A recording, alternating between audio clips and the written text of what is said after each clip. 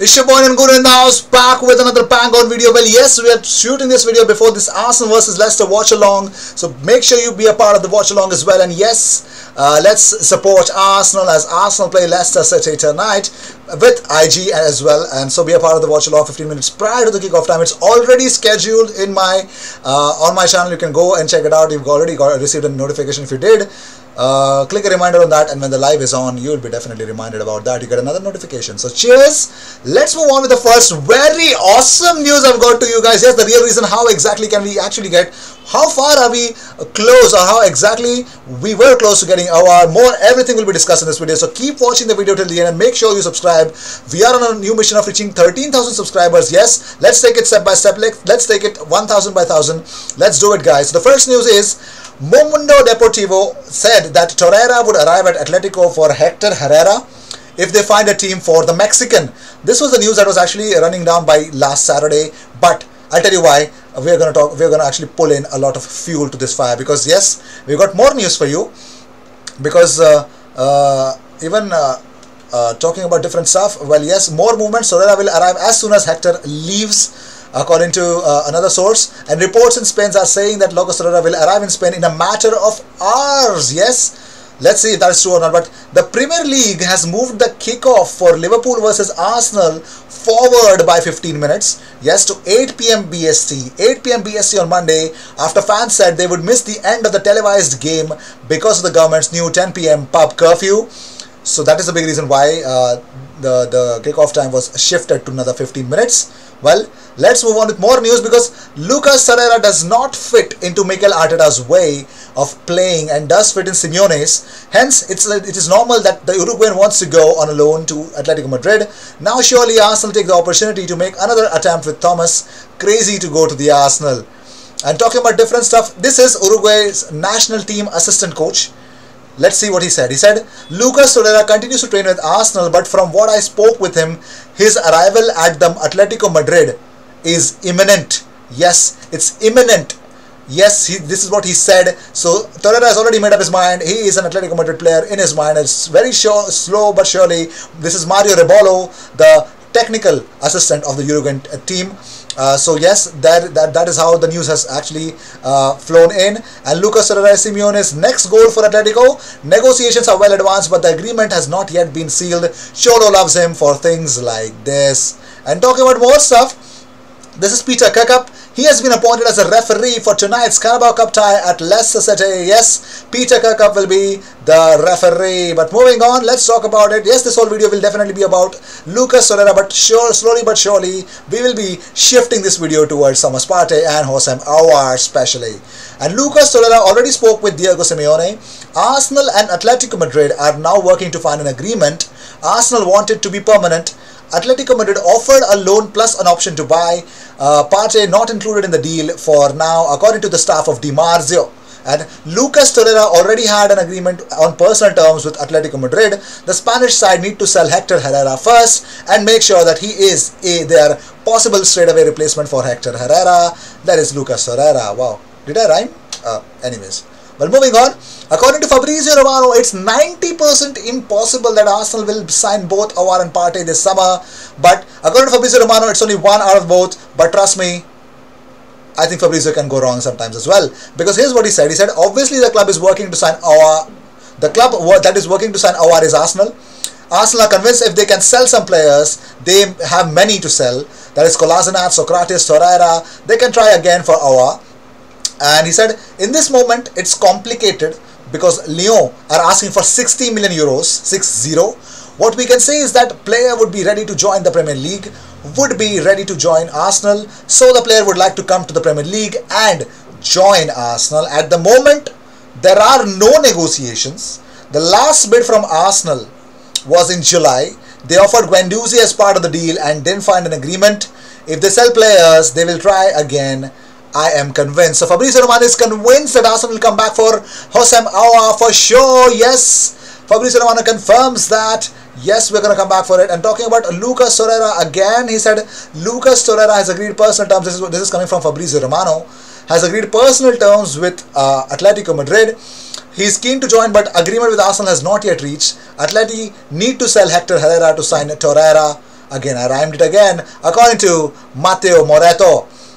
Well, according to his podcast, Fabrizio Romano has opened up about Houssem Aouar again. He said there is no agreement between Aouar and Juventus. Let's let's end the debate. Okay, everyone is also saying that there were news that there was there's one still a, a, a club a, a Champions League club behind Houssem Aouar.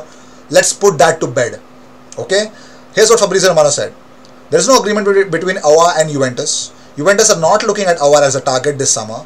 It is so complicated for 60 million euros, 6-0. They also signed Morata, so it's so complicated to see Aouar in Italy or at Juventus this summer. So Aouar will only sign for Juventus only if they splash in the cash. They are not going to because they already already did to sign uh, Alvaro Morata. So here's a summary.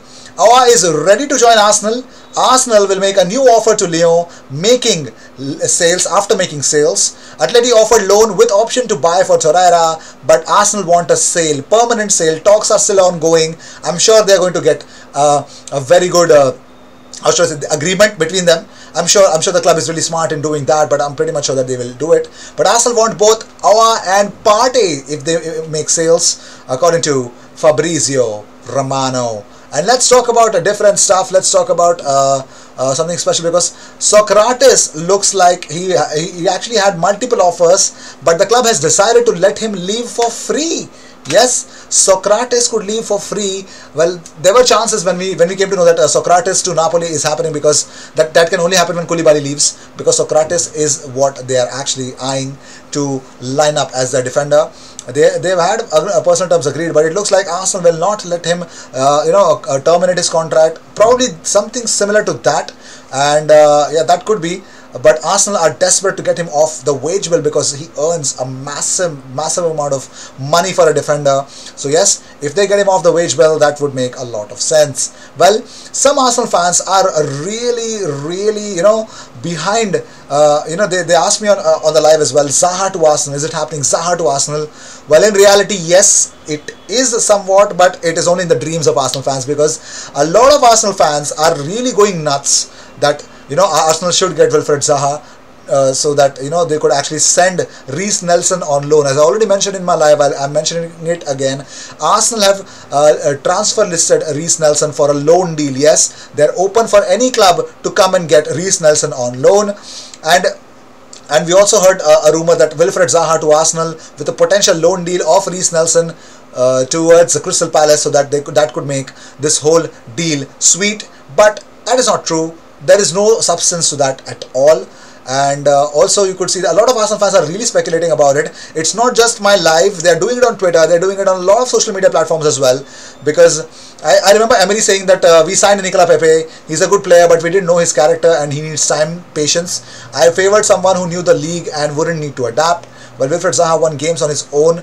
Tottenham, Man City, so you know you need to understand what what uh, you know Wilfried Zaha brings on the table. We know what he did against Manchester United, single-handedly destroying the careers of Victor Lindelof did Victor Lindelof actually have a career? Boom, burn again.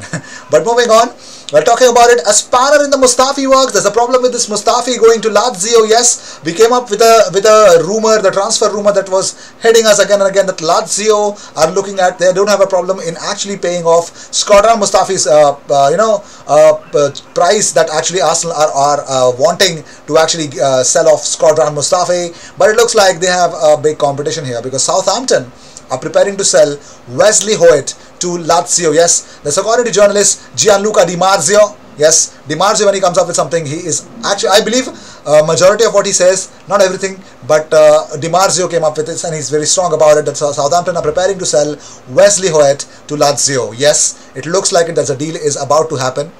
And that what, what, what does that mean? Shkodran Mustafi to Lazio is off. That looks like it because that's a move that could have implications for Shkodran Mustafi, who has also been linked with a move to Lazio. So yes, it looks like it. Shkodran Mustafi will have a difficulty in moving to Lazio if and if somehow Lazio do not go for Hoedt uh, from Southampton. So yes, I think these were the news of the day. I hope you enjoyed whatever came away, all the views and news and everything about Awesome Comments platform every single advice. Also, we are doing live every day for this whole transfer window. Yes, the transfer window saga of us getting the highest of Partey and uh, the biggest highest Partey and Aouar that we can get both of them together from this uh, from the respective clubs. If we get that, that will be the biggest highs that Arsenal could ever pick up, and I'm pretty much sure that it could even be dragged to the deadline day. I'm sure one of them can be done by the end of this week, but the week is about to end very soon, so let's see how things will turn out. Or probably towards the start of next week. You never know. The days are exciting. The the coming days are really really interesting. So if you want to be a part of uh, my life, be a part of my life, subscribe with that bell icon. I will see you in my next video, and we are on a mission of reaching 13,000 subscribers as soon as possible. Help me reach there by subscribing, hitting that bell icon, and helping our channel to grow. And cheers. I will see you in my next video. Don't forget to join on the watch along. Arsenal versus Leicester City. The watch along is already scheduled on my channel. Tune in with the watch along. 15, 15 minutes prior to the kickoff time.